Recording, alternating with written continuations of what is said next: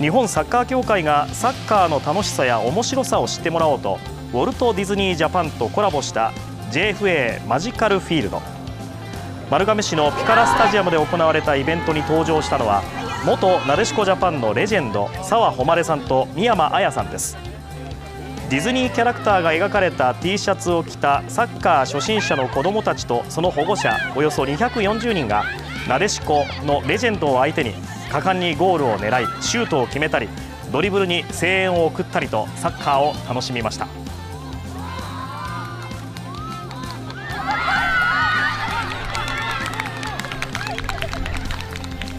楽しかった、ね、楽しかったね。前からあのサッカーをやってみたいって言ってたのですごいいい機会だったなと思って。個人的に岡山香川にすごく自分が親近感を持っているのであの懐かしい方言だったりとかあの子どもたちの表情を見てあのとてもサッカー、まあ、サッカーを通じてですけどあの人とのつながりっていいなというふうに感じました。